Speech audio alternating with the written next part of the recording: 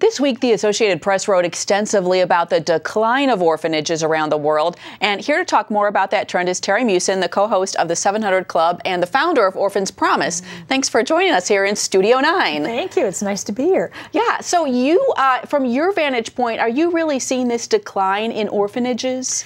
I see a movement toward that. It is considered, excuse me, in orphan care today, best practices that children be in homes or families rather than orphanages as we know them. My own daughters came out of an orphanage of 350 kids. It's almost like a human puppy mill, you know, they just keep pulling them in and spilling them out. So I see that and I'm happy to see it. I think it's going to take a while for that to actually manifest and become reality.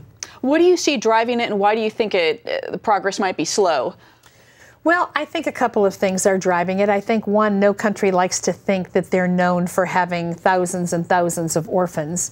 Um, I think another thing that's driving it is the realization that children find something in family and in a family setting that you can't get in an institution. Institutions turn out people with victim mentalities, people who are um, diminished emotionally, psychologically, don't know how to how to actually connect and relate to people very often on a, on a deeper level. Um, I think that we want all children to have an opportunity to, to thrive and to grow and to do well. And where does that come from? Usually the family unit. So, you know, what we're needing is smaller homes if children don't have a family to go to, smaller homes where children can have a, a mom and a dad or at least one parent that's overseeing a family like setting.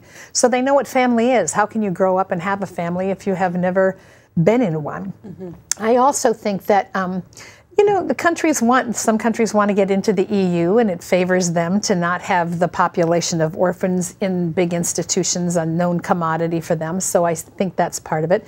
Overall, I think it's just become seen as best practices. We want children to thrive in every country and to become the leaders of tomorrow, and you have to invest in them now for that to happen. And you were saying you think progress might be slow, though. There's been some excitement, some hype, mm-hmm. but uh, it's going to take a while perhaps to really close down these large institutions. Well, where are you going to go with those children? You know, I think the effort is in Orphans Promise, we have a program called Keeping Families Together, and a family qualifies for that program for their desire to have their children with them, but they have to learn uh, how to parent well. They have to start some kind of a micro enterprise program that would allow them to rise above the poverty they're dealing with and be able to feed and and um, just nurture their families. And it's a two-year commitment of every family that comes into that program. So now multiply that times the thousands of orphanages that exist for children around the world. Um, people like the idea of giving to orphanages, but really we need to be concerned, I think, about helping individual children heal, thrive, and do well. Mm-hmm.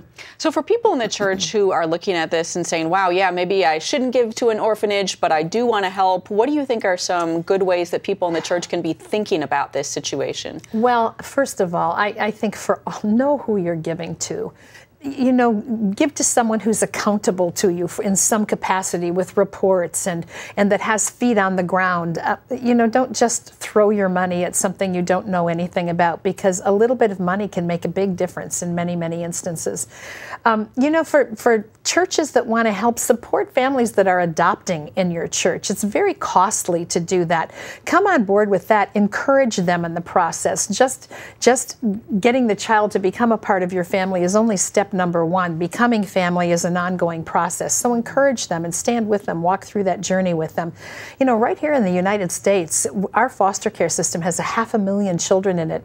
If you have the heart for it and God's called you to it, be a foster care parent that can pour value and love and compassion into the life of a child. Some of those children are in 10, 11 foster care homes before they ever come out of the system. There's lots we can do and support good work that's going on worldwide. Well, I know this really, really circles back to the church, and I think the church mm-hmm. has always had a heart for orphans, but especially when we're talking about closing orphanages, I, you know, it, it just begs the question: Who then is going to take care of these kids? Yes. Well, I think you see, you know, there's an organization now called World Without Orphans that started as Ukraine Without Orphans, and it called upon the church. It said, Will you come and foster these children? Will you take a child into your home, love them, parent them, help them learn what it means to belong and to be part of?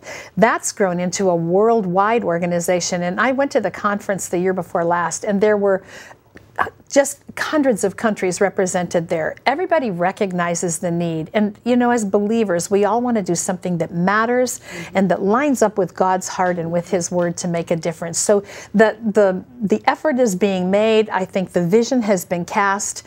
And so we just need to be diligent. You know, it's, it's a process. And so let's just head for the finish line and link arms together and make a difference. Good words, good words. Terry Meeuwsen, thanks for your time. Thank you, Heather.